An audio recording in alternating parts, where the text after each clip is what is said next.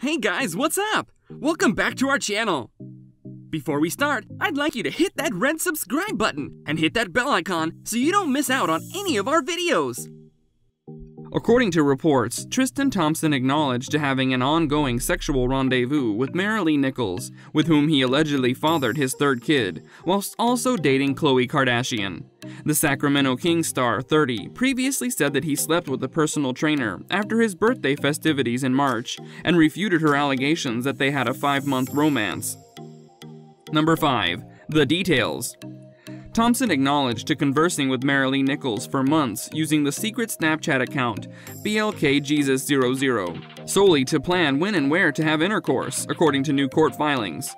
While dating Khloe Kardashian, Tristan Thompson allegedly confessed to having a months-long sexual affair with Maralee Nichols, his former personal trainer. Tristan admitted in court records that he started communicating with Maralee Nichols on Snapchat using the identity BLKJesus00. Contrary to petitioner's many inferences in her declaration, we did not have a serious ongoing relationship, Tristan and his team of lawyers said in the brief. He went on to say, We saw each other sporadically between December 2020 and March 13, 2021, and did not have sexual intercourse in California during that time. Petitioner told me that she had been involved with other athletes and understood the limitations of our relationship, to wit, that we might see each other on a sporadic basis for consensual casual sex only. From December 2020 through March 2021, we saw each other on such a basis. We never had any telephone calls, emails, nor did we exchange text messages. We only communicated via the Snapchat application. Number 4. The problem of location because Nichols wants to file for paternity in California, but Thompson wants the case handled in Houston, Texas, where Nichols' attorney claims he would likely pay less child support. The question of where and when the kid was conceived is crucial. Thompson allegedly offered Nichols $75,000 in hush money to seek an abortion after the two met in California and were hooking up on and off for five months before she got pregnant. Thompson admits in the new filings that he met Nichols in late November or early December 2020 at someone's residence. He also admits that she visited him in Los Angeles one or maybe two times, but claims that he has no recollection of ever having intercourse with her in the state.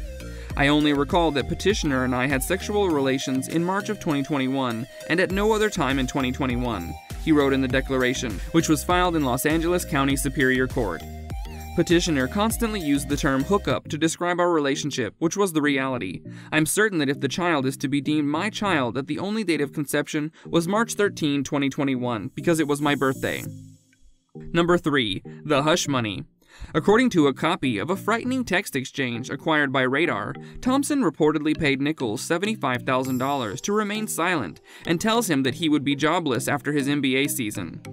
He also states unequivocally that he has no intention of being engaged in the child's life. The message sent by the NBA star read, You know how I feel. My feelings haven't changed at all. Won't be involved at all. BTW, if you think having this baby is gonna make you some money, it's completely wrong. You are aware that I'm retiring after this season, so in terms of support, it will be whatever is required monthly or someone who's unemployed.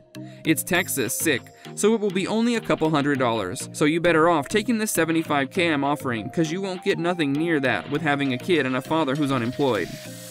Thompson denies sending the text, but maintains his contact information is included in them, according to the document. Number 2. Impact on Khloe Kardashian. Khloe found out about Tristan's current kid, his third on social media, according to The Sun. A source stated Khloe was shocked to her core when she found out, and even more shocked how she found out.